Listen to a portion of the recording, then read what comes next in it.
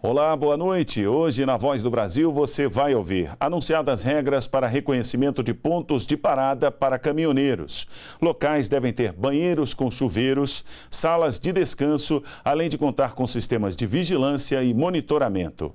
Governo entrega no Congresso Nacional defesa das contas de 2014. E ainda, e-social.